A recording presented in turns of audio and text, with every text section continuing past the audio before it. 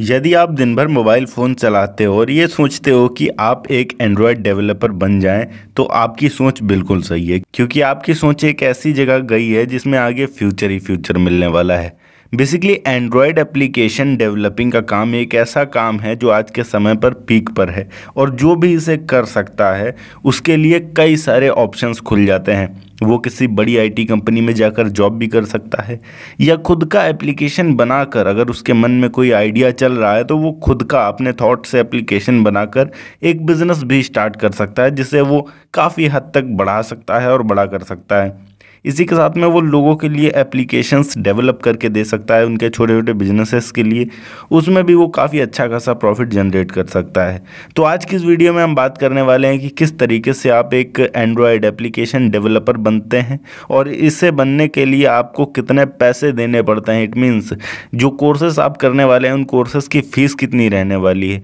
और जब आप एक एंड्रॉयड डेवलपर बन जाते हैं उसके बाद आपको कितने रुपए तक के सैलरी पैकेजेस मिलते हैं। तो इस वीडियो को अंत तक ज़रूर देखिएगा। अगर आप ऐप डेवलपिंग के लिए प्रोफेशनल डेवलपर बनना चाहते हो और एक बेसिक डिप्लोमा कोर्स करना चाहते हो, जो बड़ी बड़ी कंपनियों में एक्सेप्टेबल हो तो आप बारहवीं पीसीएम यानी कि फिज़िक्स केमिस्ट्री और मैथ से पास होने चाहिए। और इसी के अलावा आगे जाकर आपको जब ग्रेजुएशन में आना है तो कंप्यूटर साइंस से आपको बीएससी करनी है। ये काफ़ी ज़्यादा इंपॉर्टेंट होगा, जिस, जिससे आप एक सॉफ्टवेयर इंजीनियर बन पाएँगे, जो कि काफ़ी ज़्यादा ज़रूरी है ऐप डेवलपिंग के लिए। और अगर आपने पीसीएम यानी फिज़िक्स केमिस्ट्री मैथ से ट्वेल्थ पास नहीं किया है आर्ट्स या फिर बायोलॉजी स्ट्रीम से पास किया है तो आप सर्टिफिकेट कोर्सेज भी कर सकते हैं।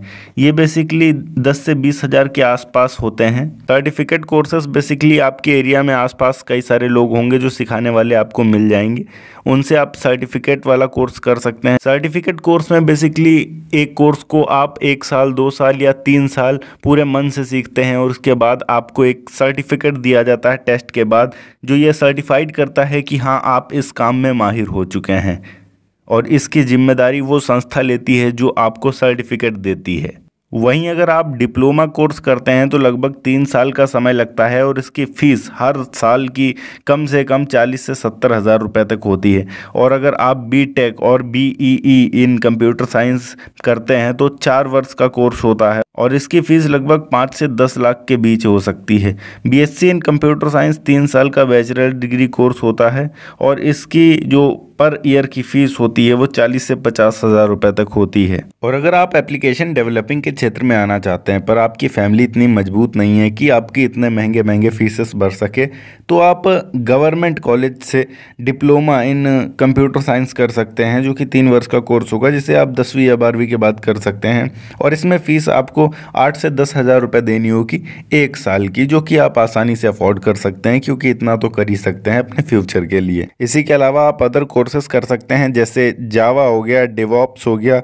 spring core five point zero हो गया एसक्यूएल ये कुछ ऐसे कोर्सेज हैं जिनको अगर आप करते हैं तो आपको जॉब मिलने के जो चांसेस हैं वो और अधिक बढ़ जाते हैं। और ये ऐसे कोर्सेज भी हैं जो कि खुद में एक प्रोग्रामिंग लैंग्वेज हैं और अगर आप इन्हें सीखते हैं तो आप प्रोग्राम करना काफ़ी अच्छे तरीके से सीख सकते हैं। और जितने भी एप्लीकेशंस होते हैं, ये एक टाइप के प्रोग्राम्स ही होते हैं। अब इसमें अगर हम अर्निंग की बात करें और करियर ऑप्शंस की बात करें तो जैसा कि हमने पहले ही बताया कि आप किसी कंपनी में जॉब कर सकते हैं, किसी के लिए ऐप डेवलपिंग का काम कर सकते हैं, या फिर अपना खुद का एप्लीकेशन भी बना सकते हैं, जिसे आप आसानी से प्ले स्टोर पर पब्लिश कर सकते हैं और उसके बाद आप इससे अर्निंग कर सकते हैं जैसे जैसे डाउनलोडिंग आपकी बढ़ेगी और उसमें आप एडवर्टाइजमेंट चलाएँगे। मेनली एक ऐप डेवलपर पचास हज़ार से लेकर सत्तर हज़ार रुपये तक महीने का कमा सकता है।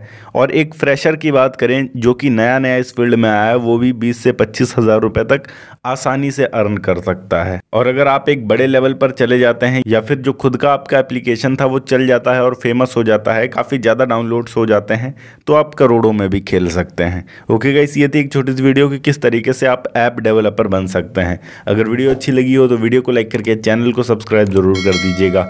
मैं मिलता हूँ आपको नेक्स्ट वीडियो में। एक नए टॉपिक के साथ, तब तक के लिए जय हिंद, वंदे मातरम।